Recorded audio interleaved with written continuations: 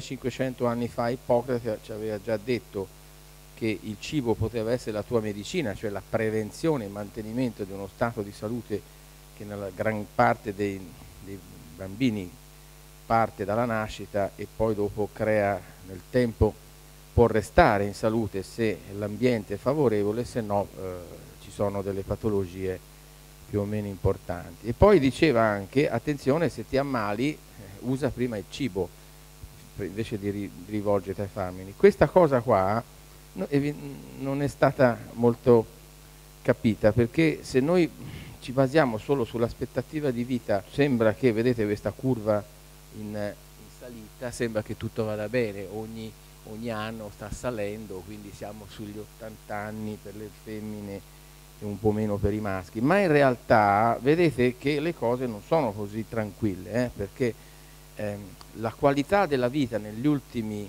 anni, quindi non la durata della vita, ma la qualità, dal, dal 2003 è crollata.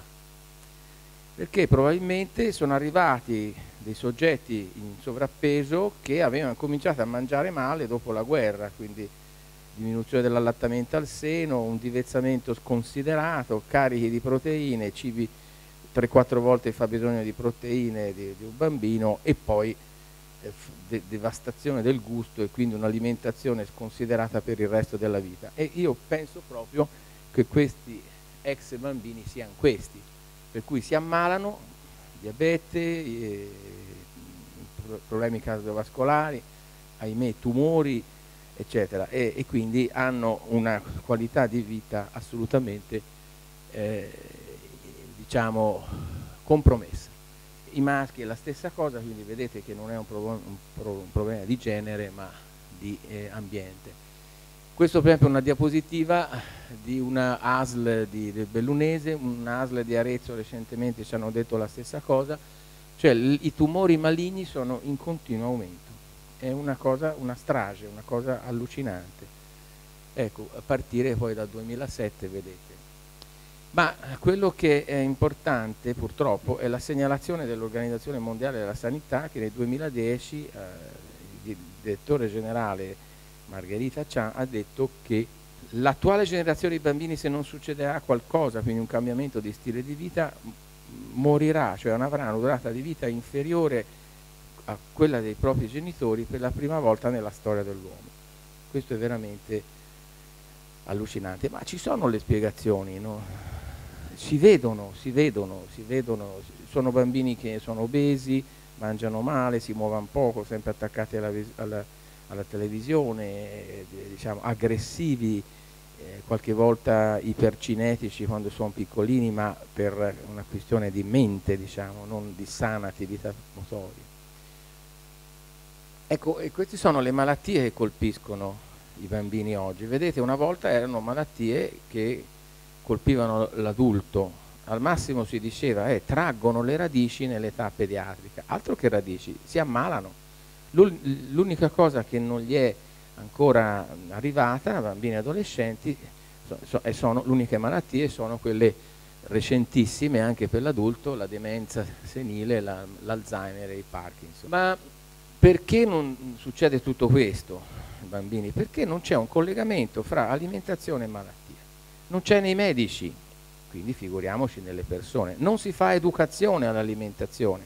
Dovrebbe essere fatta educazione a una corretta alimentazione dove? Qual è il posto migliore? La scuola. Formazione curricolare, cioè con valutazione, 40 ore di lezione dall'insegnante opportunamente formata, eccetera, eccetera, su questi bambini. Funziona, abbiamo fatto un esperimento qualche anno fa su scuole di Padova e di Verona dove lavoravo e ha funzionato. Bambini in quinta elementare, già dalla quarta elementare, tutti gli anni 40 ore, dicevano i genitori no, questo non va bene, a scuola ci hanno detto questo perché, perché, perché. Perché in sei anni di medicina fanno 15 ore di nutrizione in sei anni. Ecco. Io quando ero a Verona insegnavo nutrizione in pediatria per 20 anni, avevo sei ore più altri tre docenti e arrivavamo a 15-18. Guai a toccare il posto delle, delle ore sulla patologia. Eh. Quindi si insegna nelle scuole di medicina a curare l'uomo bambino è l'uomo malato e chi lo cura il sangue? Eh? chi si occupa del sano? Nessuno, nessuno. Il sano è nelle mani dei messaggi eh, distor diciamo, distorti della, della, dei mass media, eccetera. Che rapporto c'è fra alimentazione e malattia? È evidente perché vediamo che eh, ci sono, delle, ci sono quattro, quattro volte consumi di proteine di origine animale, 32% dei tumori sono legati all'alimentazione e sempre al consumo di alimenti di origine animale, lo stesso l'obesità e il diabete, lo stesso con troppo latte e derivati, con problemi di tumori e, e, e, di osteoporosi, addirittura, attenzione, dopo lo vedremo, ma insomma troppo formaggio determina perdita di calcio. Eh? E poi, vabbè, Parkinson, Alzheimer, tutti correlati a questo tipo di alimentazione.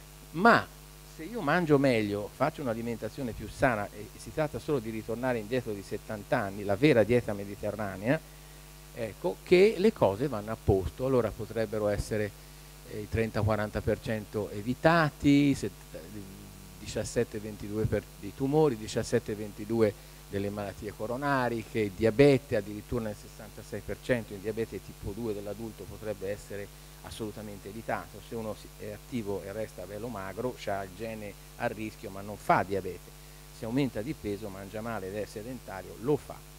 Ecco, quindi la carne, i latticini e le uova sono le fonti della maggior parte dei grassi, grassi animali, che sono il veleno, uno dei, uno dei tanti veleni, forse il più importante. Quindi si può trovare una soluzione. Non è che queste malattie vengono dal, dal, da, di chissà da dove, vengono da un ambiente e quindi da un'alimentazione che non è più quella di una volta, non è un'alimentazione patologica.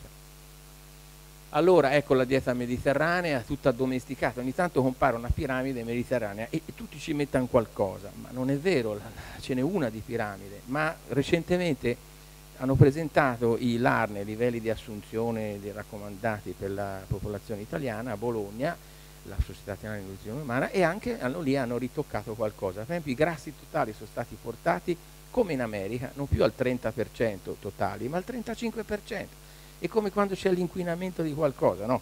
Si, si, cosa si fa? Si alza l'asticella, che problema c'è? La piramide mediterranea, vedete, è una piramide, la conoscete, ma insomma, le carni qualche volta al mese, qualche volta al mese, no?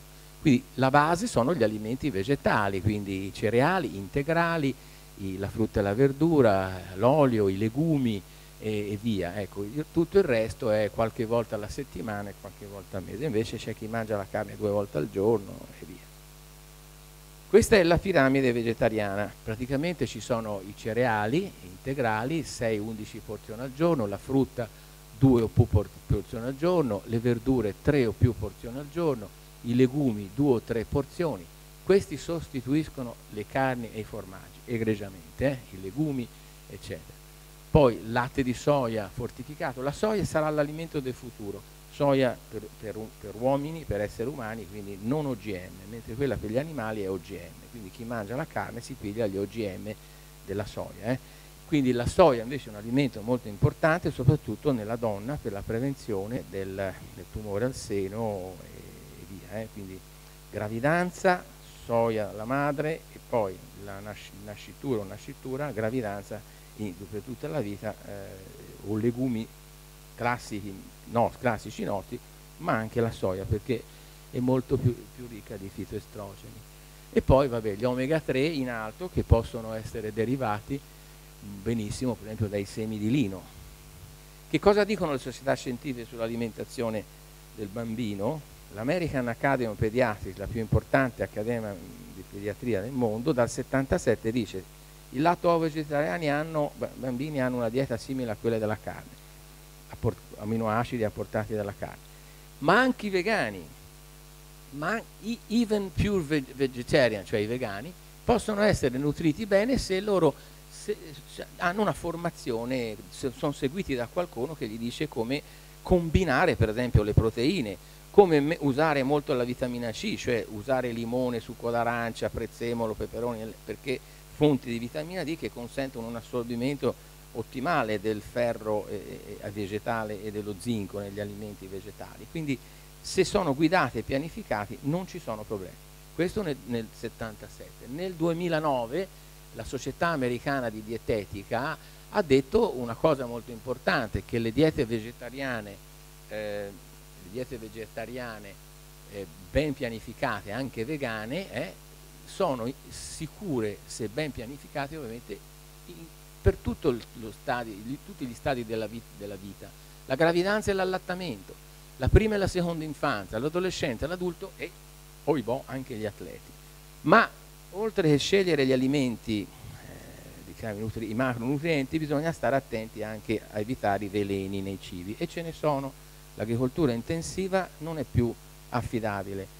Nei supermercati ci propinano cose che adesso vedremo. E chi è il più, il più, diciamo, il più a rischio? Il bambino. Allora, intanto nella, nella, nei pro, prodotti d'agricoltura intensiva c'è un effetto diluizione perché si spinge la, la pianta a crescere rapidamente, tira su acqua, i terreni non vengono ruotati per cui sono impoveriti i nutrienti e quindi noi mangiamo degli, degli, alimenti che sono diluiti. Quindi, ah, dice, ma non hanno più il sapore di una volta. E ci credo, sono, ci sono meno nutrienti e, e, più acqua.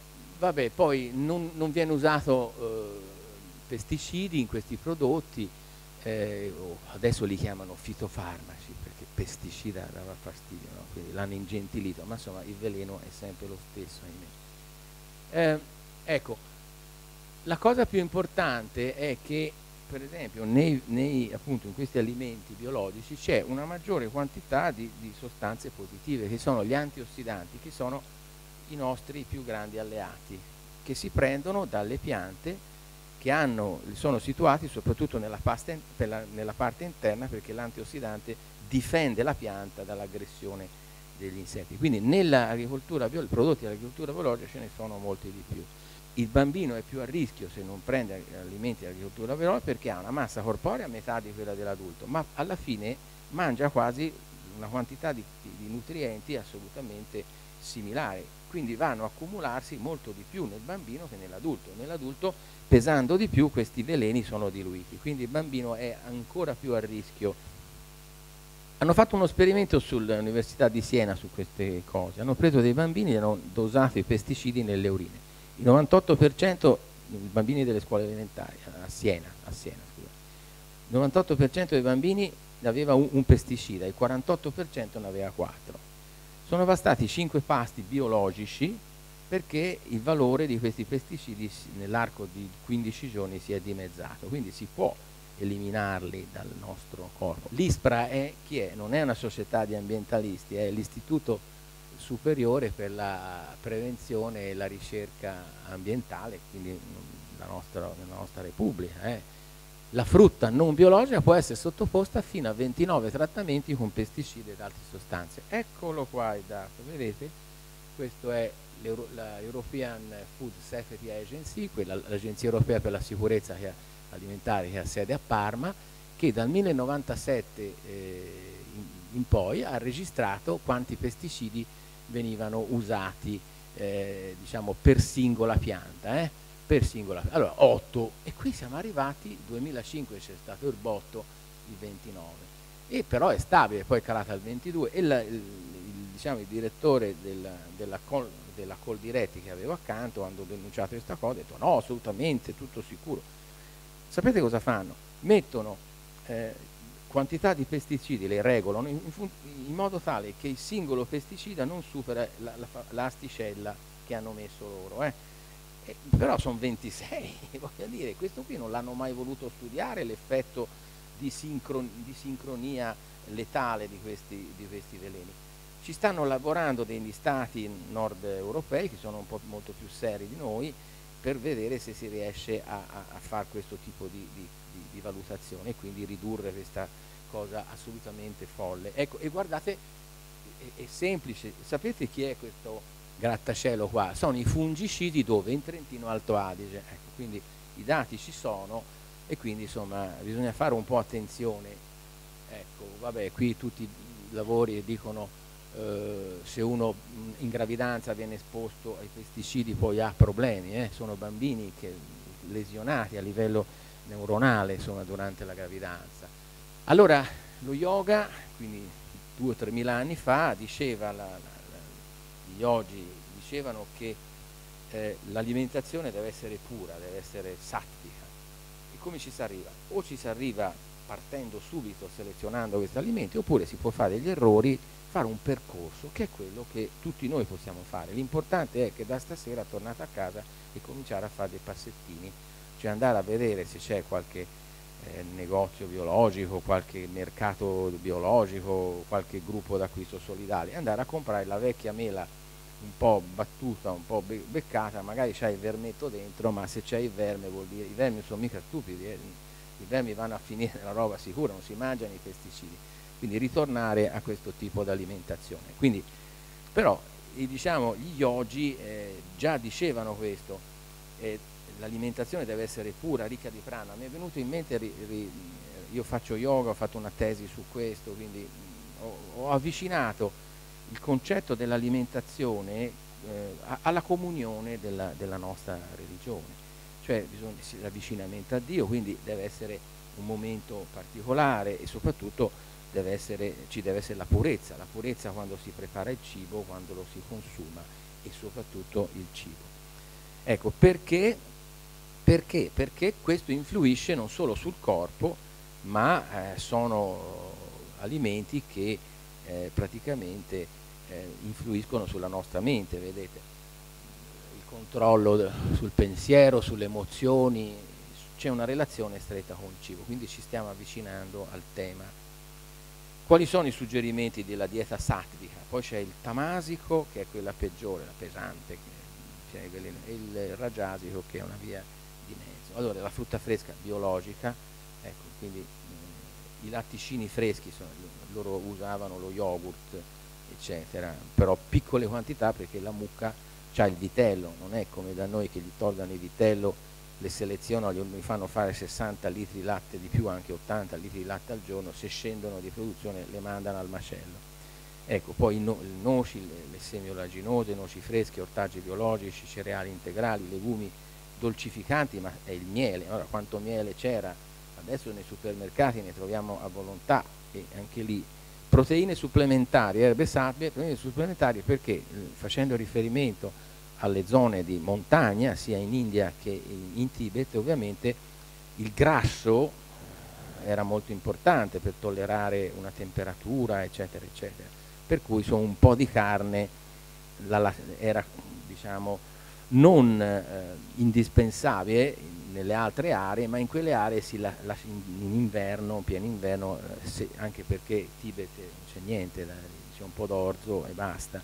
E quindi, ecco. quindi eh, e le erbe, le erbe, le, erbe, queste erbe fantastiche che lavorano molto sul corpo ma anche sulla mente.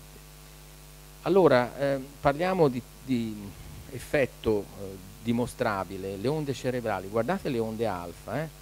Le onde alfa sono quelle che si attivano eh, durante la concentrazione profonda della meditazione. I, modi, i, med I, monaci in tre minuti entrano in, in meditazione e le hanno registrate all'MIT eh, elettroencefalograficamente e compaiono queste onde alfa che sono eh, molto regolari, sincronizzate, cioè la quiete del cervello. Quattro diciamo 20 minuti, mezz'ora di concentrazione profonda è come se uno dormisse 4 ore, ecco, molto molto importante la quiete, la serenità. Poi, vabbè, quelle sono le altre, le onde gamma sono quelle delle, degli stati di tensione, eccetera. L'alimentazione vegetariana ha questo vantaggio, cioè induce la frequenza di onde cerebrali alfa e quindi quelle della meditazione, questo consente di entrare nel nostro profondo, propria natura, nel, nel sé, diciamo, quindi ci, si, si, riesce ad avvicinarsi più al divino più, più, più tranquillamente, non, non, essendo disturbato dalla mente, dai, dai, dei pensieri che, che, che, affollano il soggetto che non riesce, che non è esercitato a concentrarsi. Quindi viene attivata l'empatia e quindi la socievolezza nei confronti, sono, sono persone più buone. Vediamo, so, gli indiani, gli indiani sono buoni, tranne quando gli attaccano i cinesi, si arrabbiano un po', eccetera, ma sono gente pacifica assolutamente, perché 500 milioni di loro sono assolutamente vegetariani. Poi con la sviluppo moderno, ahimè, nelle grandi città insomma, stanno mangiando di tutto, la carne di nascosto e via. Eh, ecco, allora andiamo a vedere perché il nostro cervello che è il centro di comando dell'organismo, consuma eh, da 4 a 6 grammi di glucosio ogni ora. E solo quello, e proprio lui è un buon gustaio, si prende solo questo carburante, poi può, usare anche altre cose, ma quello è. Se gli viene a, a mancare, eh, succede il patatrack, quindi se io mangio più alimenti animali e non vegetali posso avere una, una diminuzione dell'apporto di glucosio e quindi il cervello manda dei segnali e quindi l'organismo è costretto a trasformare il muscolo con l'aiuto dell'energia del grasso in glucosio, quindi è una, un discorso di assoluta eh, diciamo, eh, di problematica, quindi un aggravio metabolico. Ecco, in natura ovviamente in particolare nella frutta fresca c'è glucosio, quindi lo prendiamo da quello, specialmente se si prende non in grosse quantità in un solo pasto, ma piccoli, ai 5 pasti, bisogna mangiare 5 volte al giorno e la frutta deve essere presente nei, nei, tre di questi pasti, cioè la colazione al mattino e negli spuntini, non dopo i pasti principali. Questo vuol dire apportare zuccheri eh, graduali durante la giornata, questo è importante. Eh, che cosa succede? Questi, in questi amidi ricchi di fibre, eccetera, c'è un aminoacido triptofano, c'è anche nella carne, ma c'è una strada metabolica diversa il quale è il precursore di un neurotrasmettitore come la serotonina, che dà serenità, tolleranza, creatività, socievolezza, superamento degli stati d'ansia, di depressione, quindi grandi vantaggi per la mente. Ecco qua, vedete il, il triptofano, la via metabolica, da, da prima si trasforma in 5 dosi di triptofano e poi in serotonina, con tutti i vantaggi che sono sull'umore, ma anche sull'appetito, sulla sessualità, dice che fa tanto bene, eh, sì, infatti guarda caso c'è un lavoro venuto fuori che i vegetariani hanno un'attività sessuale molto più eh, diciamo soddisfacente, questo il termine che usavano era questo. Invece la via triptofano presente nella carne ha un'altra strada, aumenta come tutti gli altri alimenti proteici, quindi provoca la, la diminuzione della, della serotonina aumentando la tirosina. Quindi dalla tirosina viene fuori la dopamina, dopamina, eh? Dop, doping, eh? Eh? va bene, quindi tenetela a mente questo. E l'adrenalina, ormone della paura, no? quando c'è uno stress, questo ormone prepara l'organismo a essere molto reattivo, con però aggressività, angoscia, agitazione e propensione alla lotta. Ecco, eh, una parentesi sull'animale. L'animale, non sono stupidi gli animali, ci sono animali intelligentissimi, il maiale sembra essere quello più intelligente di tutti questo sente un giorno prima che sta per morire.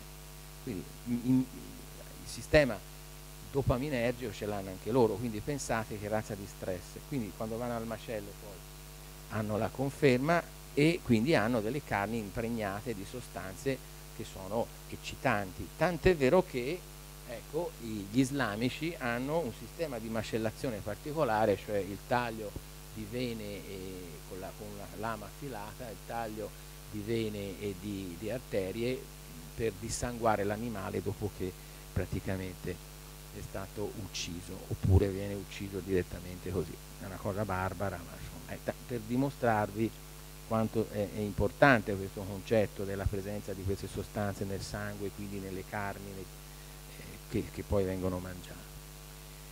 Quindi, altra cosa importante, ci sono degli studi fatti nei carceri statunitensi c'era delle carceri, c'era sempre rivolte, mangiavano carne, hanno deciso di dargli una dieta vegana. Che cosa è successo? Hanno ottenuto dei risultati importanti, cioè le rivolte piano piano si sono acquietate e, qui, e poi si sono assolutamente eh, sparite. Quindi questa è la dimostrazione che una dieta che, che comporta sostanze che fanno, danno serenità eh, risolve i problemi anche dove i problemi sono di casa, come quello di un carcere dove la rieducazione eh, lascia un po' a desiderare.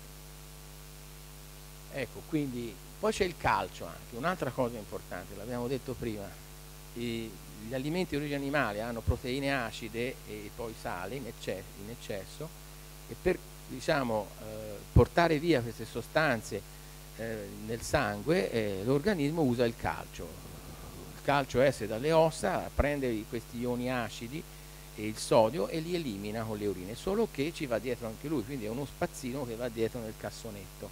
Quindi più eh, alimenti, quindi carni, formaggi stagionati si mangia, più calcio si perde. Questo è importante, è vero che si mangia molti formaggi, eccetera, eccetera, e l'osteoporosi sta aumentando. Ecco, questo è eh, importante. La diminuzione, l'aumento del fosforo da questi alimenti, proteine animali e la diminuzione del calcio crea una situazione di irritabilità e di aggressività. Quindi un'altra cosa si va ad aggiungere alle cose che abbiamo detto prima di tipo ormonale. Ecco, questi sono gli alimenti acidi eh, che li vediamo tutti qua, sono tutti alimenti o carni o ecco qua il formaggio grana purtroppo è quello più acido di tutti, mentre gli, gli alimenti basici sono tutti vegetali, della verdura, frutta eccetera. Questo è un pH, probabilmente dei pH neutro 7. Ricordiamo che il nostro pH nel sangue è 7,4, quindi è neutro tendente al basico. Quando scende il pH, basta andare su 7,2 quindi calare da 7,4 a 7,2 l'organismo reagisce e quindi crea, perché c'è una situazione di emergenza. Ecco il meccanismo come funziona, gli ioni acidi, il calcio grazie al paratormone esce dall'osso, se li prende e poi li elimina con le urine, ma ci va dietro anche lui. È una considerazione fatta dalla Harvard School of Public Health, dell'MIT di Massachusetts Institute of Technology americano, che è uno dei più grossi centri dove si fa eh, pro, pro, studi epidemiologici e, e prevenzione sul stile di vita e l'alimentazione, dice non vi è motivo di promuovere l'utilizzo di latte e latticini per la prevenzione dell'osteoporosi. Eh, anzi, se si tolgono eh, si sta meglio per l'osteoporosi e per tante altre cose. Lo zucchero, ci sono tanti lavori su questo, tanto zucchero, tanta irritabilità nel bambino, eh, perché sottrae calcio, eh, del, si perdono le, delle vitamine eh, del gruppo B e quindi i, i, i bambini eh, in particolare hanno una intolleranza di comportamento sia assuefazione allo zucchero, cioè ci sono delle, tisane del commercio per bambini piccoli di un anno che hanno, io lo guardate con terrore, il 23% di zuccheri dentro. È una cosa allucinante, se pensate che la Coca-Cola ce n'ha il 12%, pensate, infatti li rendono dipendenti, sono dei pusher chi fa questi prodotti e chi li prescrive anche, perché il bambino diventa matto, cioè non, per levarglieli devi cominciare a diluire, non glieli può levare di colpo perché è una specie di piccolo tossico, ecco, quindi devi diluirle queste, queste, tisane, queste cose, piano questi tè, eccetera, eh, e poi piano piano ovviamente ritorna a uno stato di normalità. Quindi eh, intolleranze al comportamento, ansia, sono molto ansiosi e depressi i nostri bambini, eh, molto ansiosi e depressi. Con dei test specifici in tutte le scuole eh, si, si, può benissimo dimostrare questo. E poi la competitività che è promossa, eh, questi che giocano a calcio in queste squadrette, i genitori che si picchiano, picchiano i genitori, l'arbitro, insomma, scene apocalittiche, non si accetta la sconfitta e poi la deconcentrazione e gli sbalzi dell'umore che poi chi, chi, insegna a scuola lo sa benissimo. E stiamo arrivandoci alla, alla, alla, conclusione, allora qua ci sono dei lavori che lo dimostrano, i, i bambini con un, un, un esagerato apporto di alimenti confezionati, eh, quindi del, del coso, hanno tutta una serie di sintomi emo emozionali rispetto ad altri. Quindi l'aumento del consumo di prodotti ad alta concentrazione di zucchero e una, una dieta, eh, una qualità bassa della dieta, quindi senza frutta, senza verdura, eccetera, è associata con una alterazione sintomi di alterazione emotiva nel bambino. Questi sono lavori del 2012, quindi recentissimi che lo riconfermano. E qua lo stesso, insomma, Ecco, qui spinge sugli omega 3. Gli omega 3 hanno un ruolo importante sul cervello, sulla, eh, su altre cose, sistema immunitario, insomma, e sono probabilmente carenti. Poi, ecco qua, ecco la Coca-Cola qua, eh, ce n'è per tutti qua. Abbiamo il glucosio derivato dagli OGM e poi vedete quante zollette di zucchero c'è in ognuna delle confezioni. Conclusione, che cosa possiamo dire? Che un'alimentazione vegetariana iniziata in gravidanza eh, è in grado di influenza non solo la salute fisica ma anche quella psichica. Tanti problemi, tante tragedie che si vede non ci sarebbero se ci fosse un'alimentazione di, di, di tipo vegetariano. E poi se si aggiunge a questo gli effetti positivi sulla salute e, e sull'ambiente, un ecologista eh, in un recente congresso ha detto che siamo come effetto sul pianeta, siamo a, a livello di una guerra mondiale come disastro. Ci sono i morti, ci sono le bombe, le bombe d'acqua adesso, no? ci sono le bombe d'acqua, però l'erosione dei suoli, poi l'incuria italiana.